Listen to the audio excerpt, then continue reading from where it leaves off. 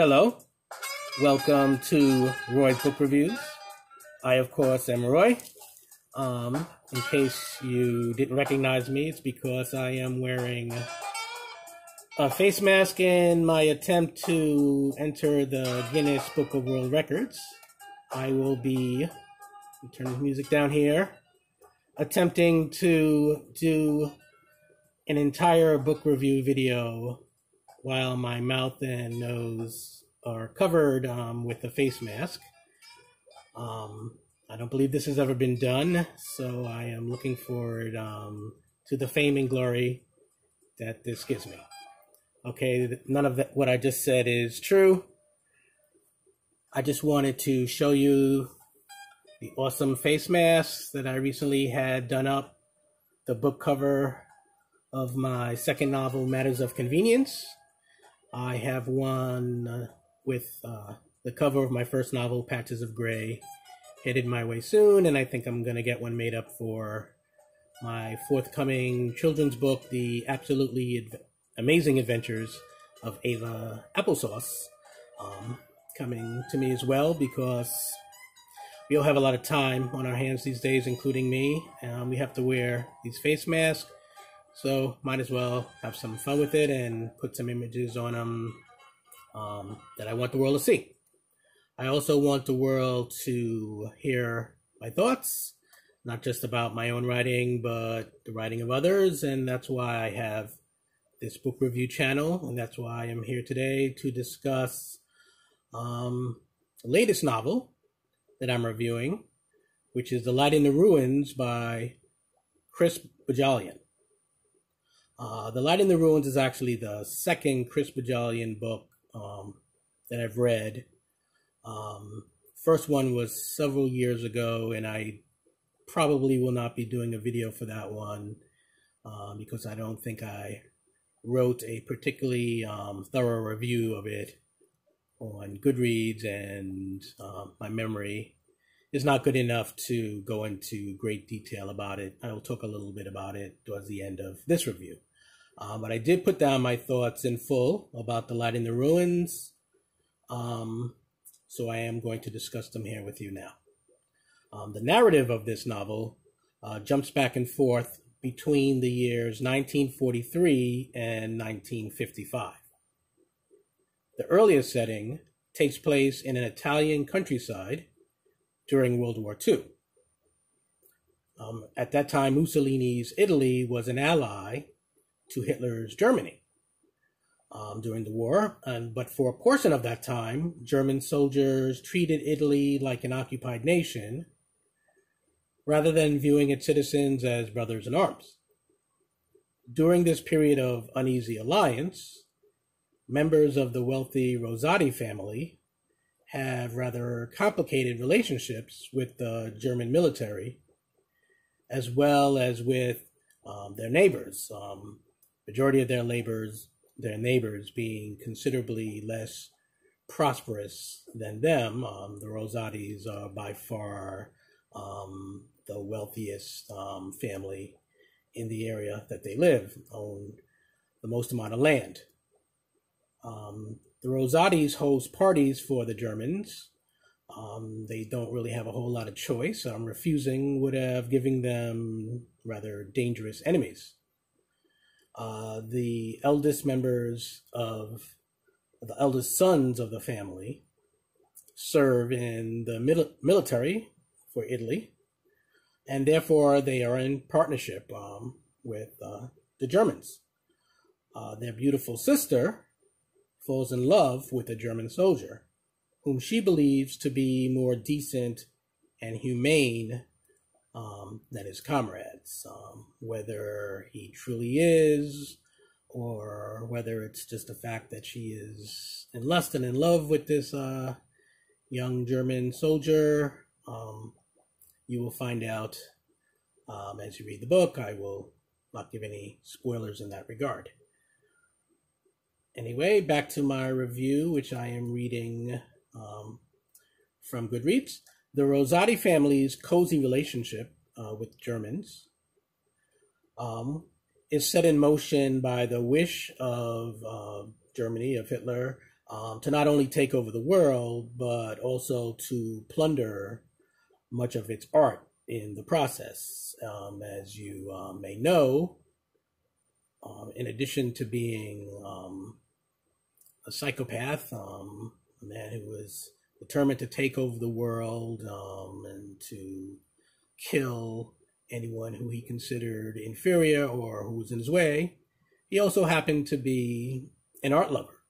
Um, as a younger man, he even um, dabbled in art or architecture um, himself. Um, as the leader of Germany, he decided that whoever he took over, he could take over their art. And even though Germany didn't take over Italy, um, they still were pushing Italy around, and therefore they were taking plenty of art um, from Italy, and Italy, of course, has quite a bit of that um, to take, including the fictional Rosati family, um, because they have an ancient Etruscan burial site on their land. Um, so they are rather cozy with the Germans who are coming by periodically to, you know, have dinners there and to visit the burial site and to take from it uh, whatever they want to bring back um, to their Führer or to whoever it is they're bringing this art to um, to admire. And the neighbors, you know, just are just seeing the Rosati family as being in cahoots with the Germans. Um, decided to side with them for self-preservation, and this, of course, uh, breeds resentment. Uh, flashing forward to the 1950s, the book's plot revolves around a serial killer who, for unknown reasons, is targeting members of the Rosati family, ripping the heart out of each victim to cap off the vicious murders. Uh, there are two Italian detectives on the case, a man and a woman. Um, at this time in the 1950s, to be a female detective in Italy um, was a rather rare accomplishment. Uh, this detective is not only a woman, um, but she's also an armed um, police officer, and the book makes clear that she stands out from her peers in that regard. So back to my review here. Uh, the woman detective has a relationship with the Rosati family that dates back to the war when she was severely injured and they helped nurse her back to health.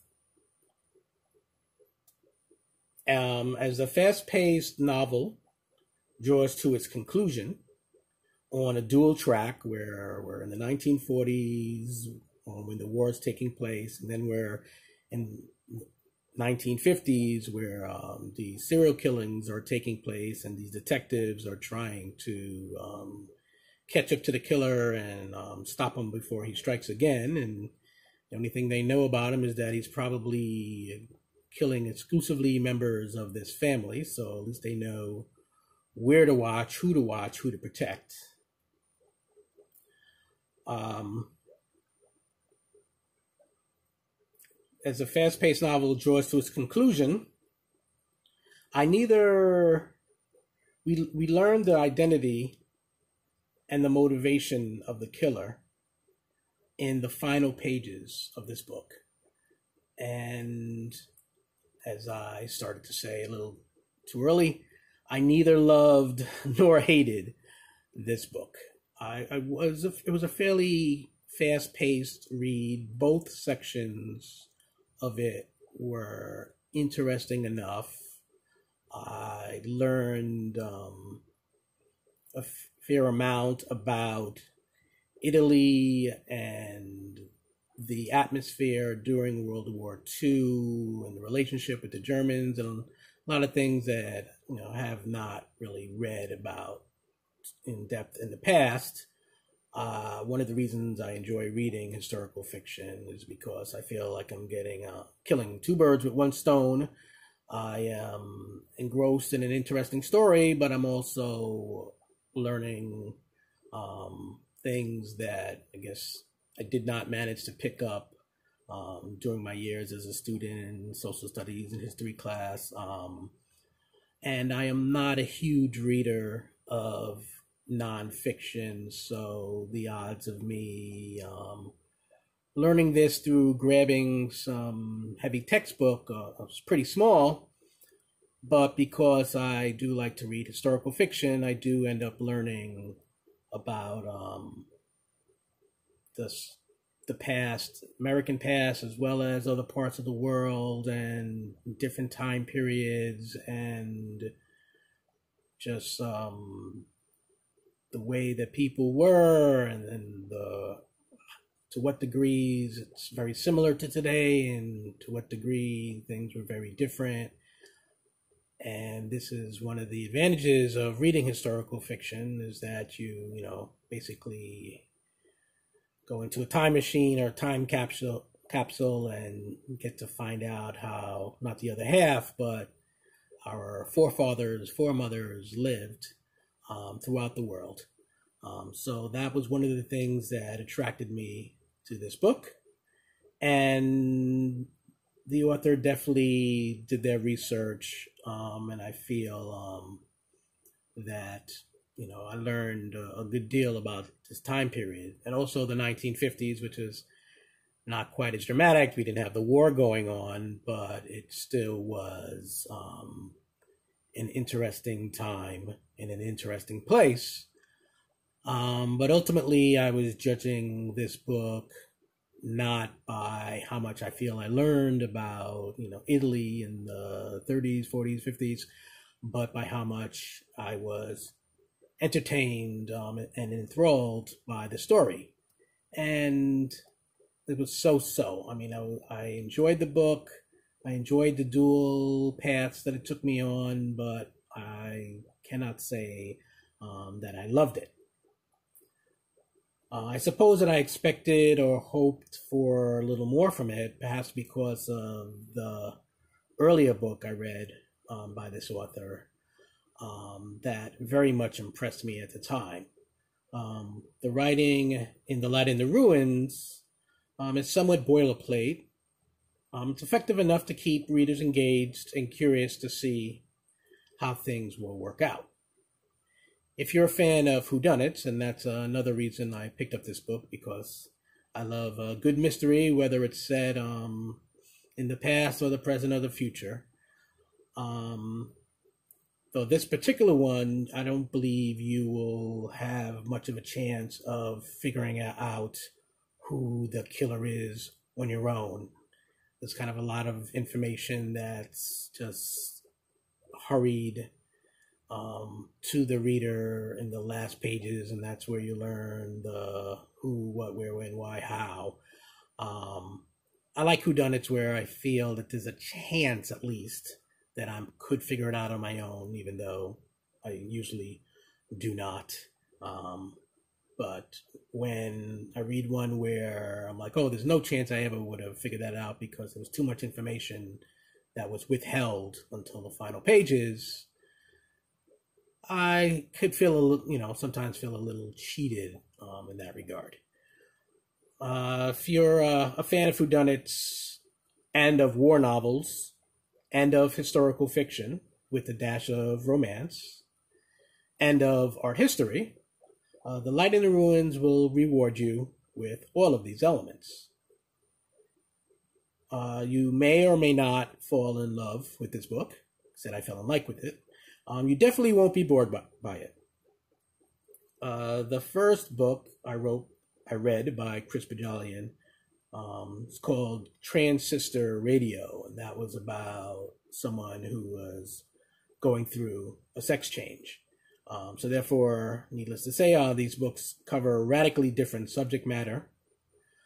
Um, which means that Chris Bohjalian is um, obviously not someone who sticks to a particular genre or, or a particular subject matter or particular cast of characters um, but is all over the map with his writing, and that is something um, I greatly admire um, in any writer. Uh, most of you, um, sure, have your favorite authors and is that you have read, you know, throughout their catalog, and not a, that it's the same book over and over and over, but there certainly is a comfort zone um, that authors tend to be in, and they tend to be writing about a particular time period or a particular place or you know particular genre of story. Um, Chris Bohjalian apparently is not in that category. He writes about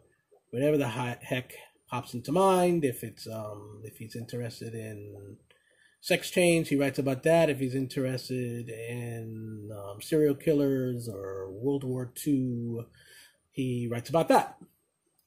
Um, therefore, I have no idea what the next Chris Bohjalian book that I pick up will be about because the books that I have read so far give me absolutely no clue. But I definitely will give him another shot based on the first two that I read. Definitely a talented author. And that's all I have to say about The Light in the Ruins.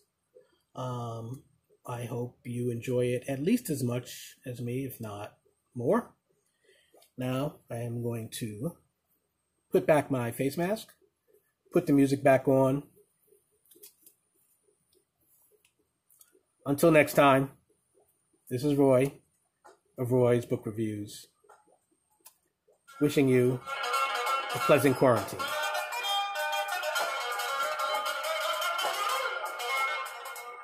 It's a slow blues by Buddy Guy.